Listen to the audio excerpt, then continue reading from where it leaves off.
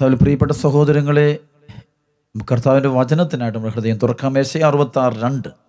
ആത്മാവിൽ എളിമയും അനുതാപം ഉണ്ടായിരിക്കുക. എന്റെ വചനം കേൾക്കുമ്പോൾ വിറയ്ക്കുകയും ചെയ്യുന്നവനെയാണ് ഞാൻ കടാക്ഷിക്കുക. അപ്പോൾ കർത്താവിന്റെ വചനത്തിനായിട്ട് നമ്മൾ ഹൃദയം തുറക്കാം മനസ്സ് മുഴുവൻ തുറക്കാം. എസ് കെയിൽ മൂന്നിന്റെ പത്തി പറഞ്ഞ ചെവി തുറന്ന് വചനം കേൾക്കുകയും ഹൃദയത്തിൽ അത് സൂക്ഷിക്കുകയും ചെയ്യാം സംഗീതം നൂറ്റി പത്തൊമ്പതിന്റെ പതിനൊന്ന്. അങ്ങേക്കെതിരെ പാപം ചെയ്യാതിരിക്കാൻ അങ്ങയുടെ വചനം എന്റെ ഹൃദയം സൂക്ഷിച്ചിരിക്കുന്നു. പ്രഭാഷകൻ മൂന്ന് പതിനെട്ട് പത്തൊമ്പത് നീ എത്രമാത്രം ഉന്നതനാണോ അത്രമാത്രം വിനീതനാകുക. അപ്പോൾ നീ ദൈവകൃപയ്ക്ക് പാത്രമായി തീരും. അപ്പോൾ ദൈവവചനം ഹൃദയം സ്വീകരിക്കാനായിട്ട് നമുക്ക് ഒരുങ്ങാം. എളിമയുള്ള ഹൃദയത്തിലേക്കാണ് കർത്താവിന്റെ വചനം വരിക. വിശുദ്ധിയുള്ള ഹൃദയങ്ങളിലേക്ക് വിശുദ്ധി എളിമയുണ്ടെങ്കിൽ നമുക്ക് ഈശോയെ സ്വന്തമാക്കാൻ അനുഭവിക്കാനും പറ്റും. ഈശോയുടെ മക്കളായിട്ട് ഈ ഭൂമി ജീവിക്കാൻ പറ്റും. വലിയ വിടുതലിന്റെ മക്കളായിട്ട് മാറാൻ പറ്റും. അനുഗ്രഹത്തിന്റെ മക്കളായിട്ട് മാറാൻ പറ്റും. ഇവിടെ വേണ്ടുന്ന ഒരു വിശ്വാസമാണ്. വിശ്വാസം ഏറെ വളരാനായിട്ട് നമുക്ക് ആഗ്രഹിച്ച് പ്രാർത്ഥിക്കാം. ഇന്നത്തെ വചനം പെട്ടെന്ന് തരാൻ ആഗ്രഹിക്കുക. റോമലേഖനം അഞ്ചാം അധ്യായത്തിന്റെ നാല് അഞ്ച് വാചനം നമുക്കറിയാം. കഷ്ടത സഹനശീലവും സഹനശീലം ആത്മധൈര്യവും ആത്മധൈര്യം പ്രത്യാശ നമുക്ക് പ്രദാനം ചെയ്യുന്നു. അതിനുശേഷം പറയും പ്രത്യാശ നമ്മെ നിരാശരാക്കുന്നില്ല. ക്രിസ്ത്യാനിയുടെ ഹൃദയത്തിൽ നമ്മുടെ ഹൃദയത്തിൽ ഒരിക്കലും ഉണ്ടാകാൻ പാടില്ല ഭയം ഉണ്ടാകാൻ പാടില്ല. പ്രത്യാശയറ്റവരല്ല. നമ്മൾ പ്രത്യാശയുള്ളവരാണ്. നമ്മളാണ് പ്രത്യാശ മക്കൾ. We are the children of resurrection ഉത്ഥാനത്തിന്റെ മക്കളാണ് നമ്മൾ ഉയർപ്പിന്റെ ഒരു വലിയൊരു ധൈര്യം നമ്മുടെ ഹൃദയത്തിൽ എപ്പോഴും സൂക്ഷിക്കാനായിട്ട് നമ്മൾ തയ്യാറാകണം. നമ്മുടെ ഉള്ളിൽ നിന്ന് ഭയം മാറിപ്പോകാനായിട്ട് നമ്മൾ വളരെയധികം ശ്രദ്ധിക്കണം. യോഹനാന സുവിശേഷത്തിൽ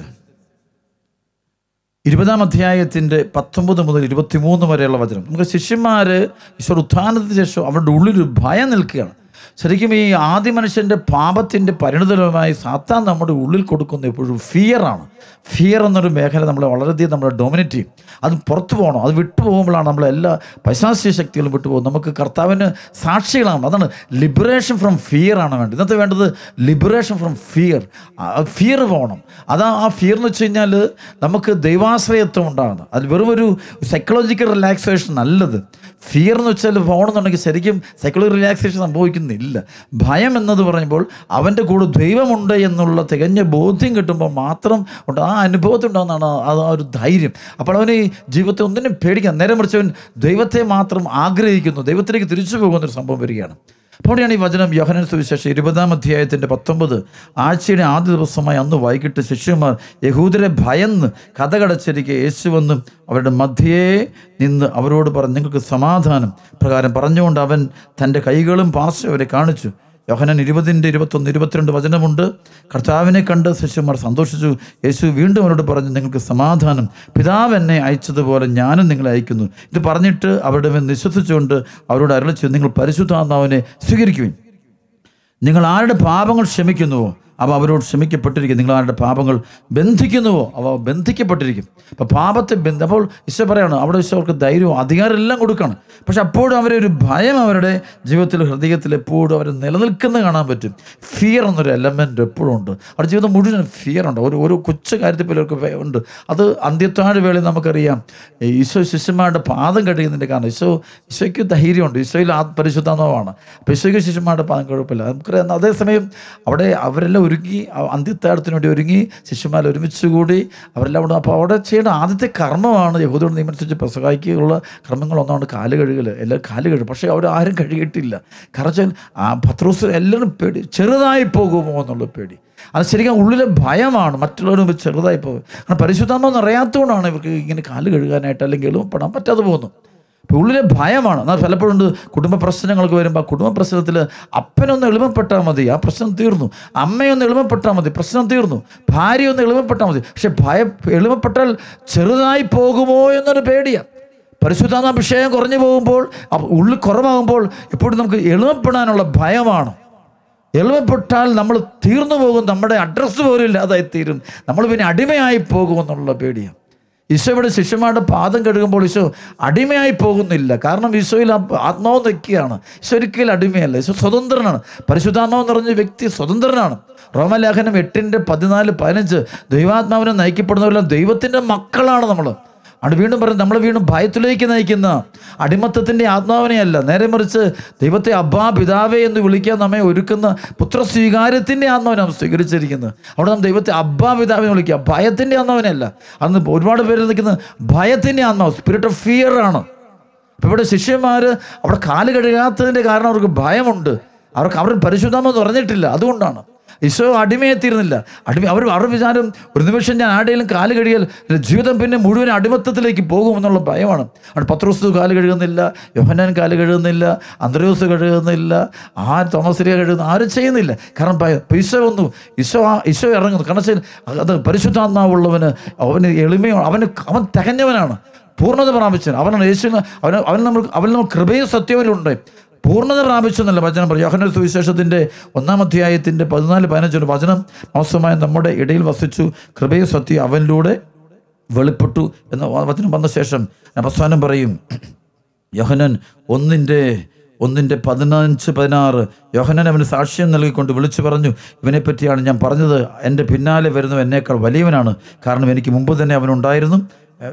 അവന്റെ പൂർണതയിൽ നിന്ന് നാം എല്ലാം കൃപയ്ക്കുമേൽ കൃപ സ്വീകരിച്ചുകൊണ്ട് പൂർണതയിൽ അവൻ ഫുൾനെസ്സാണ് അതാണ് ആ ഭയമില്ല അവിടെ. അവിടെ പരിശുദ്ധ അമ്മ കൃപയുടെ പൂർണതയുള്ളതുകൊണ്ടാണ് അവൾക്ക് സഹനത്തിന്റെ നിമിഷത്തിൽ ഭയമില്ല അവൾക്ക്. കുരിശിന്റെ ചുവട്ട് നിൽക്കും ഭയമില്ലാത്തൊരു കാരണം അവൾ അടിമയല്ല. അവൾ സ്വതന്ത്രയാണ്. പരിശുദ്ധാന്നോ നിറഞ്ഞ.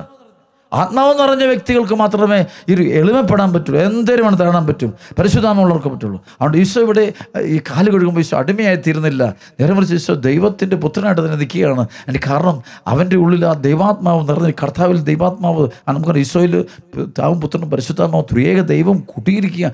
ഫുൾനെസ്സാണ് നിൽക്കുന്നത്. ഗ്രേസിന്റെ ഫുൾനെസ്സാണ് അപ്പോൾ അതാണ് നിൽക്കുന്ന സംഭവമാണ്. പക്ഷേ ഇവിടെ ശിഷ്യന്മാർക്ക് ഭയം കാണാൻ പറ്റും. ഈശോ ഉത്തിതനായ ഈശോയെ കണ്ട ശേഷവും അവർക്ക് ആ ഭയം അവരിൽ വിട്ടുമാറാതെ അവർ വേട്ടയാടുന്നത് കാണാൻ പറ്റും. അവിടെ എന്ത് കുറവുള്ളവനാണ് ഈ ഭയം എന്നെപ്പോഴും ഈ കുറവുള്ളവനുള്ളതാണ് ഭയം. എനിക്ക് കുറവുള്ളവനാണ്. ഞാൻ ചെറിയവനാണ്. എനിക്ക് ഞാൻ ആ കഴിവില്ലാത്തവനാണ്. ഞാൻ കഴിവില്ലാത്ത എനിക്ക് എന്ത് കുറവുകളുള്ളതുകൊണ്ട് മറ്റുള്ളവർ എന്നെ അംഗീകരിക്കത്തില്ല. എന്നെ അക്സെപ്റ്റ് ചെയ്യത്തില്ല. അപ്പോൾ ഇതാണ് ലോകം മുഴുവൻ ബാധിച്ചിരിക്കുന്ന സംഭവം എന്നാണ്. ഇതാണ് മനുഷ്യന്റെ എല്ലാവരും പേടിയാണ്. അങ്ങോട്ടും ഇങ്ങോട്ടെല്ലാം ഭയമാണ്. സമൂഹത്തിലും മതങ്ങളെല്ലാം കാണാം. ഭയമാണ് കയറി പിടിക്കുന്നത്. അത് വരുമ്പോൾ സത്യവിരുദ്ധമായിട്ട് റിയാക്ഷൻസ് ഭയങ്കര നെഗറ്റീവ് റിയാക്ഷൻസ് ഭയങ്കരമായിട്ട് കൂടുതലായിരിക്കും. കാരണം ഞാൻ ചെറുതായി പോകും. ഞാൻ വലിയവനായിട്ട് നിൽക്കണമെങ്കിൽ ഞാൻ ഫൈറ്റ് ചെയ്യാതെ എനിക്ക് നിൽക്കാൻ പറ്റത്തില്ല. എനിക്ക് പിടിച്ച് നിൽക്കണമെങ്കിൽ ഫൈറ്റ് ചെയ്യണം എന്നുള്ള ചിന്ത വരികയാണ്. നേരെ മറിച്ച് ഈശോ ഫൈറ്റ് ചെയ്യാതെ നിൽക്കണം യോ അതായത് എസ് സി അമ്പത്തി മൂന്ന് എഴുതി പറഞ്ഞ പോലെ കൊല്ലം കൊണ്ടുപോകുമ്പോഴും രോമം കത്തിരിക്കപ്പെടുമ്പോഴും മൗനം അവലംബിക്കുന്ന കുഞ്ഞാടിനെ പോലെ ഈശോ നിൽക്കുന്നത്. അവൻ പരിശുദ്ധാത്മ എന്ന് പറഞ്ഞാൽ അവൻ ചെറുതാകത്തില്ല. അവനെ ഒന്നും ചെയ്യാൻ പറ്റില്ല കർത്താവിനൊന്നും ചെയ്യാൻ കണ്ടപ്പോൾ അതുകൊണ്ട് പ്രിയപ്പെട്ടവർ ഇവിടെ ഭയം മാറണം. അതാണ് ഞാൻ പറഞ്ഞു വരുന്നത്. ഭയത്തിന്റെ മേഖല വിട്ടുപോകണം. അത് വിട്ടുപോകണമെന്നുണ്ടെങ്കിൽ ഒറ്റക്കാലം ഈശോ പറഞ്ഞ വജ്രത്തിലേക്ക് നമ്മൾ വീണ്ടും തിരിച്ചു പോകണം. യശയ പ്രവാചകന്റെ പുസ്തകത്തിന്റെ ഒന്നാം അധ്യായം എട്ട് മുതൽ പതിനാറ് വരെ വചനത്തിൽ പറയുന്നുണ്ട് എന്റെ ദാസനായ ഇസ്രായേലെ ഞാൻ തിരഞ്ഞെടുത്ത യാക്കോബെ എന്റെ സ്നേഹിതനായ അബ്രാഹത്തിന്റെ സന്തതി നീ എന്റെ ദാസനാണ് ഞാൻ നിന്നെ തിരഞ്ഞെടുത്തു ഇനി ഒരിക്കലും ഉപേക്ഷിക്കുകയില്ല എന്ന് പറഞ്ഞുകൊണ്ട് ഭൂമിയുടെ അതിർത്തികളിൽ നിന്ന് ഞാൻ നിന്നെ തിരഞ്ഞെടുത്തു വിദൂര ദിക്കുകളിൽ ഞാൻ നിന്നെ വിളിച്ചു ഭയപ്പെടണം ഞാൻ നിന്നോട് കൂടെയുണ്ട്. കാരണം പരിശുദ്ധാത്മാവ് നിറഞ്ഞവർക്കുള്ള ഏറ്റവും വലിയ അനുഭവം. അവരെപ്പോഴും പറയുന്നതും അവർ വിശ്വസിക്കുന്നതും അനുഭവിക്കുന്നതും കർത്താവ് കൂടെയുണ്ട് എന്നുള്ള ബോധ്യമാണ്. ആ ഒരു ബോധ്യമാണ് പരിശുദ്ധമെന്ന് പറഞ്ഞവന്റെ അടയാളം അതാണ്. പരിശുദ്ധമെന്ന് പറഞ്ഞാൽ പാപം ചെയ്യുകയില്ല. കാരണം കർത്താവ് അവന്റെ കൂടെയുള്ളത് കൊണ്ട് അവന് പാപത്തിലുള്ള വിജയം വേണ്ട. അല്ലാതെ അവൻ വിജയിക്കുന്നവന് ഉറപ്പാണ് അവന്. കാരണം അവന്റെ ഉള്ളിൽ ദൈവവിശ്വാസമുണ്ട്. അപ്പം അതുകൊണ്ട് പാപത്തിന്റെ വഴികളോ തിന്മയുടെ വഴികളോ വേണ്ട എനിക്ക്. അല്ലാതെ എനിക്ക് വിജയം കൈവരിക്കാൻ പറ്റും. കാരണം ദൈവത്തിന്റെ അന്ന് അവന്റെ കൂടെയുണ്ട്. അപ്പം ആ ഒരു ബോധ്യമാണ്. അതാണ് പരിശുദ്ധാത്മാവ് നിറഞ്ഞവന്റെ അനു തെളിവിതാണ് വീണ്ടും വചനം പറയുകയാണ്.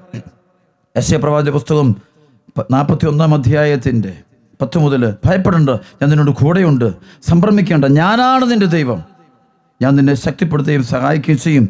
എന്റെ വിജയകരമായ വലത് കൈകൊണ്ട് ഞാൻ നിന്നെ താങ്ങി നിർത്തും. നിന്നെ ദ്വേഷിക്കുന്നവർ ലജ്ജിച്ചു തലതാഴ്ത്തും നിന്നോട് ഏറ്റുമുട്ടുന്നത് നശിച്ചൊന്നുമല്ലാതെ തീരും.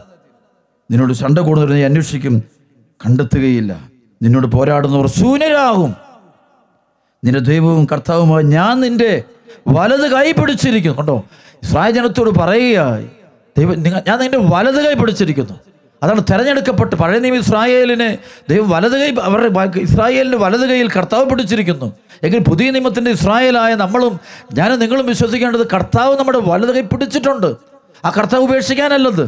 സ്വന്തമാക്കാൻ വേണ്ടി. ഒരുപക്ഷെ സ്ഥല സഹനങ്ങളോടൊക്കെ പോകുന്നതിന് കാരണം നമ്മൾ ഈ ഭയം മൂലം ദൈവവചനമൊക്കെ വിട്ട് നമ്മൾ തന്നെ നമ്മുടെ കാര്യം തീരുമാനം എടുത്തുകൊണ്ട് മുന്നോട്ട് പോകുന്നു. ദൈവത്തെ ദൈവത്തെ നമുക്ക് ദൈവത്തെ പോലും പേടിയാണ്. നമ്മൾ ആരെ വിശ്വസിക്കുന്നില്ല? ഒരാളെ പോലും വിശ്വസിക്കുന്നില്ല. അപ്പോൾ ആ ഒരു അവസ്ഥയിലോട്ട് പോവുകയാണ്. ഇതാണ് ബന്ധനം എന്നുള്ളത്. അതാണ് പിശാസ് മനുഷ്യഹൃദയത്തിൽ വിതച്ച ഭയത്തിന്റെ പരിണിത ഫലമാണത്. എസ് എ നാൽപ്പത്തി ഒന്നിന്റെ വീണ്ടും പതിമൂന്ന് മുതൽ വചനം. നിന്റെ ദൈവവും കർത്താവുമായി ഞാൻ നിന്റെ വലത് കൈ പിടിച്ചിരിക്കുന്നു. ഞാനാണ് പറയുന്നത് ഭയപ്പെടേണ്ട ഞാൻ നിന്നെ സഹായിക്കും. ബൈബിൾ എപ്പോഴും പറയും ഭയപ്പെടേണ്ട ഞാൻ ദൈവം സഹായിക്കും. പ്രിയപ്പെട്ട മക്കളെ നമ്മുടെ ജീവിതത്തിന്റെ ഏതെല്ലാം പ്രതികൂല സാഹചര്യമാകട്ടെ കുടുംബ പ്രശ്നങ്ങളാകട്ടെ മക്കൾ തലതിരിഞ്ഞു പോകുന്ന അവസ്ഥകളാകട്ടെ ഒരുപാട് രോഗങ്ങളാകട്ടെ സാമ്പത്തിക തകർച്ചകളാകട്ടെ വിവാഹം നടക്കുന്നില്ല. പ്രായം കവിഞ്ഞിട്ട് ഒരു ഒരു പ്രതീക്ഷ കാണുന്നില്ല മുന്നോട്ട് എല്ലാ വാതിൽ അടഞ്ഞു കിടക്കുന്ന പോലെ. അപ്പോഴും ഭയപ്പെടാൻ ഞാൻ നിന്നെ സഹായിക്കും എന്ന് പറഞ്ഞ ദൈവമുണ്ട്. ആ ദൈവം നിന്നെ സഹായിക്കും. അതിനെ വിശ്വസിക്കണം പലവും പലപ്പോഴും നീ നിന്റെതായ തീരുമാനമെടുക്കുന്നു ആ തീരുമാനത്തിലാണ് നീ തകർന്നു പോകുന്നത്. ദൈവവിശ്വാസം അതാണ് പരിശുദ്ധാന്തം നിറയുമ്പോൾ നമുക്ക് കിട്ടുന്ന ഏറ്റവും വലിയ ബോധ്യം നമ്മുടെ കൂടെ എപ്പോഴും കർത്താവുണ്ട് എന്നുള്ള ബോധ്യമാണ്. ആ അനുഭവം നമ്മുടെ ആത്മാവിൽ നമുക്ക് നൽകിക്കൊണ്ടിരിക്കും ദൈവം പരിശുദ്ധാത്മാവ് നമ്മുടെ നമ്മുടെ ഹൃദയത്തിലുള്ള നമ്മുടെ ചുറ്റുമുള്ള നമ്മിലുള്ള കർത്താവ് യേശുവിന്റെ സാന്നിധ്യം എപ്പോഴും നമുക്ക് മനസ്സിലാക്കി തരികയാണ്. ധൈര്യം തരുന്നത് പരിശുദ്ധാത്മാവ് അല്ലെ ഭയമല്ല. ശിഷ്യന്മാർക്ക് ധൈര്യം കിട്ടി പരിശുദ്ധം വന്നു കഴിഞ്ഞപ്പോൾ വീണ്ടും വചനം കാണാൻ പറ്റും. എസ് എ നാൽപ്പത്തി ഒന്നിന്റെ പതിനാല് മണി കർത്താവ് വിളിച്ചത് കൃപയായ യാക്കോബൻ ഇസ്രായേലിനെ ഭയപ്പെടേണ്ട. ഞാൻ നിന്നെ സഹായിക്കും. കർത്താവ് അരളി ചെയ്യുന്നു ഇസ്രായേലിലെ പരിശുദ്ധനാണ് നിന്റെ രക്ഷ ഞാൻ നിന്നെ പുതിയതും മൂർച്ചയേറിയതും പല്ലുള്ള ചക്രങ്ങളോട് കൂടിയ ഒരു മെതിവണ്ടിയാക്കും. നീ മലകളെ മെതിച്ച് പൊടിയാക്കും കുന്നുകളെ പതിരുപോലെയാക്കും. നീ അവയെ പാറ്റുകയും കാറ്റവയെ പറപ്പിച്ചു കളയും കൊടുങ്കാറ്റവയെ ചിതറിക്കുകയും ചെയ്യും. നീ കർത്താവിൽ ആനന്ദിക്കും. ഇസ്രായേലിലെ പരിശുദ്ധന് നീ അഭിമാനം കൊള്ളും. കേട്ടോ കർത്താവിന്റെ അഭിമാനം കൊള്ളുക. കർത്താവ് കൂടെയുണ്ട്. അതുകൊണ്ട് പ്രിയപ്പെട്ട സഹോദരങ്ങൾ നമ്മുടെ ജീവിതത്തിൽ നമ്മുടെ പ്രശ്നം ഒന്നേ ഉള്ളൂ. കർത്താവ് നമ്മുടെ കൂടെയുള്ളതിനെ കുറിച്ചുള്ള ബോധ്യമില്ലായ്മ. അത് പലപ്പോഴും അതാണ് പൈശാസിക ബന്ധനം വരുന്നതിന്റെ പ്രത്യേകത. ഭയം കയറി പിടിക്കും. ഭയം എല്ലാത്തിനെയും ചെറിയ തടസ്സത്തെ പോലും വലിയ പ്രശ്നമാക്കി മാറ്റും. നമ്മൾ ചെറു എപ്പോഴും കോംപ്ലക്സ് ഒരുപാട് കൊള്ളിക്കും. ഭയത്തിന് അടിമപ്പെട്ട മക്കൾക്കെല്ലാം കോംപ്ലക്സ് കൂടുതൽ എന്ന് വെച്ചാൽ ഇൻഫീരിയോറിറ്റി കോംപ്ലക്സുകൾ വരിക. ഞാൻ ചെറുതായിപ്പോൾ അതുകൊണ്ട് ദൈവത്തെ മറന്നൊരു പ്രവർത്തനം നടക്കുന്നത് കാണാൻ പറ്റും. അതുകൊണ്ട് പ്രിയപ്പെട്ട സഹോദരങ്ങളെ ഇവിടെ വചനത്തിൽ മുമ്പ് കേട്ടതുപോലെ അതായത് ഈശോയുടെ ഉത്ഥാനത്തിന് ശേഷം ശിഷ്യന്മാർ നമുക്കറിയാം ശിഷ്യന്മാർ ഈശോ കണ്ടുമുട്ടുമ്പോൾ അവരുടെ അവർ ശത്രുക്കളെ യഹൂദരെ ഭയന്ന് അതിൽ വാതിലടച്ചിരിക്കുമ്പോൾ കർത്താവ് അവരുടെ മധ്യേ വന്നു ഏട്ടെ നിങ്ങൾക്ക് സമാധാനം എന്ന് പറഞ്ഞു. അതിനുശേഷം ഈശോ അവരുടെ നിശ്വസിച്ചു പരിശുദ്ധാത്മാവിനെ സ്വീകരിക്കുക കാരണം പരിശുദ്ധാത്മാവിനെ സ്വീകരിച്ചാൽ ഈ ഭയം പോവുള്ളൂ. പരിശുദ്ധാത്മ നിറഞ്ഞു കഴിയുമ്പോൾ നമുക്ക് നമുക്ക് ധൈര്യം കിട്ടും. അവിടെ പ്രിയപ്പെട്ട സഹോദരങ്ങൾ ഈ ആളുകളൊക്കെ നമ്മൾ നന്നായിട്ട് പ്രാർത്ഥിച്ചൊരുങ്ങേണ്ടത് നമ്മൾ ഒറ്റ കാര്യത്തിന് പരിശുദ്ധാത്മാവെന്ന് പറയാൻ വേണ്ടി പ്രാർത്ഥിക്കുക. പരിശുദ്ധാത്മാവിനെ പെന്തകുസ്തു അനുഭവം കിട്ടുകയുമ്പോൾ നമ്മുടെ ഉള്ളിൽ ഒരുപാട് നെഗറ്റീവ് ചിന്തകളുണ്ട്. ഞാൻ കൊള്ളില്ല ഞാൻ ശരിയാകത്തില്ല ഇതെല്ലാം ഞാൻ തെറ്റാണ് ശരിയാണോ? ഭയങ്കര പലവിധത്തിലും ഇതിനെല്ലാത്തിനും ഒരു മാറ്റം ഉണ്ടാവും ഈ മാറ്റം വരാത്തതിന്റെ കാരണം ഈ പെന്തക്കുസ്ത അനുഭവം വേണ്ട പോലെ സംഭവിക്കാത്തതുകൊണ്ടാണ്. പന്ത്രണ്ട് അപ്പസ്തോലന്മാർക്കും ഈശോയുടെ അവരുടെ കൂടെ ഉണ്ടായിരുന്നവർ ശിഷ്യന്മാർക്കും അങ്ങനെ നൂറ്റി ഇരുപത് പേർക്ക് പെന്തക്കുസ്ത ദിനത്തിൽ പരിശുദ്ധാത്മാവിന്റെ അനുഭവം ഉണ്ടാകുമ്പോൾ അതോടെ അവർ ഭയം വിട്ടുപോയി. അവർ പ്രാർത്ഥിക്കുമ്പോഴും പരിശുദ്ധാത്മാവിനോട് പ്രാർത്ഥിക്കുന്നത് അവർക്ക് ആ ഭയം പോകണം. തെറ്റായ ചിന്ത. നമ്മൾ എല്ലാത്തിനും നമ്മൾ നമ്മളാണെല്ലാം കൊണ്ടുപോകുന്നത്. ഭയത്തിന്റെ മേഖല കഴിയുമ്പോൾ ഭയം ഒരാൾ വരുമ്പോൾ പിന്നെ അവൻ ചിന്ത അവനാണെല്ലാം കൊണ്ടുപോകുന്നത്. ഭയം മാറിക്കഴിയുമ്പോൾ ദൈവമാണെല്ലാം കൊണ്ടുപോകുന്നത്. ദൈവമാണ് എന്നെ നടത്തുന്നത്. ദൈവന്റെ വലത് കൈ പിടിച്ചിരിക്കുന്നു. ദൈവം എല്ലാം നന്നായിട്ട് കൊണ്ടുവരും എന്നുള്ള വലിയ പ്രത്യാശ കൂടി കിട്ടുകയാണ്. അപ്പസ്വല പ്രവർത്തനത്തിന്റെ നാലാം അധ്യായത്തിൽ നാലാം അധ്യായത്തിന്റെ ഇരുപത്തിമൂന്ന് മുതൽ മുപ്പത്തൊന്ന് വരെയുള്ള വചനം നമുക്കറിയാം.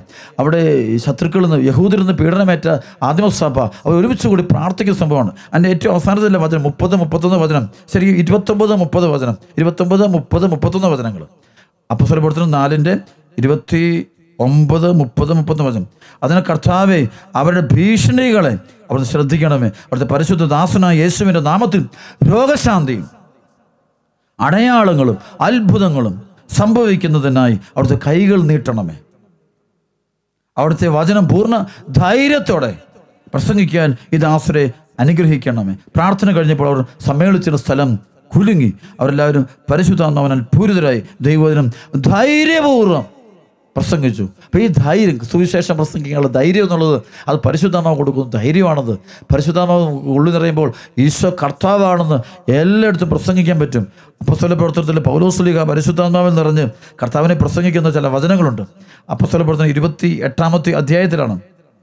വളരെ നല്ലൊരു വചനമാണത്. വായിച്ച് ധ്യാനിക്കേണ്ട വചനമാണ് ഇരുപത് മുതലുള്ള ഇരുപത് മുതൽ ഇരുപത്തിരണ്ട് വരെയുള്ള വചനം.